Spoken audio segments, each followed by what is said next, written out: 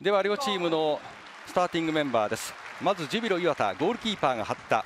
そしてディフェンスライン2人変えてきました。右から山本今野鈴木。中盤です。ボランチが遠藤と山本康介。右に小川左に松本です。シャドウの位置には山田と大森。ワントップの位置にルキアンが入りました。3421のシステムです。そしてアウェーの水戸のスタメンです。ゴールキーパー二重川ディフェンスラインは4枚です。右から柳沢住吉タビナス村田。アンカーの位置には平塚。そして中盤右に新座と左に森。前線は右から松崎中山安藤です。そして、まあ、開幕戦ゴールを決めた深堀は今日はベンチからのスタートということになります。さあどの選手に合わせますか？ニアサイドに1人。中央に入れてきた。ヘディングシュート決めた！先制ゴール。見事に先制ゴール山田。今シーズン初ゴールを決めました。1対0まず1つ目の競り合いのところで完全に不利でしたね。はい。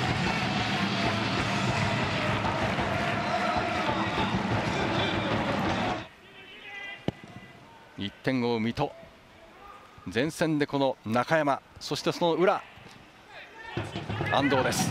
安藤このドリブル、そしてフィジカルの強さが持ち味。持ち込んでいく。決めた。同点ゴール。1対1前半の18分。安藤が決めました。今シーズン初ゴール。同点に追いつきました水戸。まあここで一度仕掛けるんですが数的優位でジュビロボールバウンですね。小川大輝が下げたところ田が出てきたんですが、はい、クリアボールがそのまま安藤が当たってるんじゃないですかこれ。あだけど足の裏で田のすねに当たってますよね。僕はそこ小川大輝だと思うんですけれども戻って対応しました。はい。遠藤から右そしてまたこの右サイド。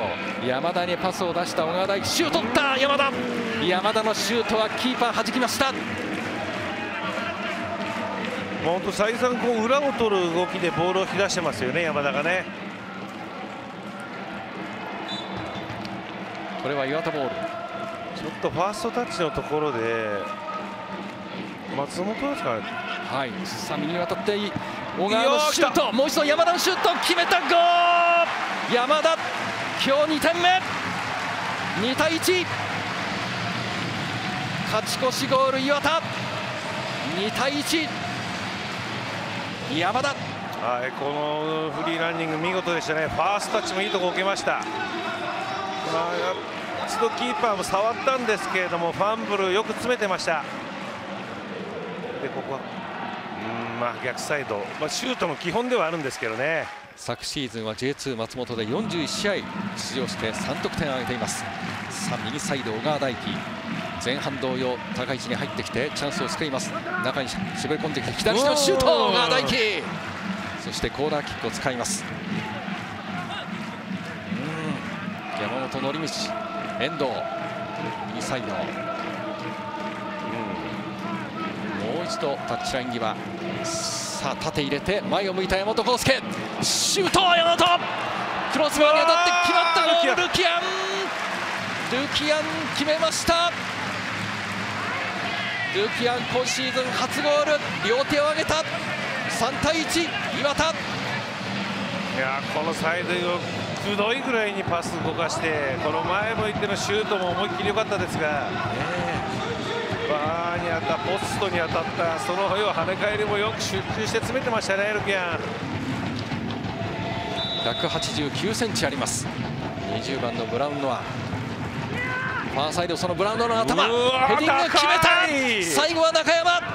中山がゴールを決めました。今シーズンこの中山も初ゴール。3対2その差を1点差としました。住吉ですね。この2番の住,、まあ、住吉あとブラウンノアこの2枚が2人競ってるんですけど、はいえー、189センチのブラウンノア助走に入ったボールが入った。ファーサイドヘディングシュート。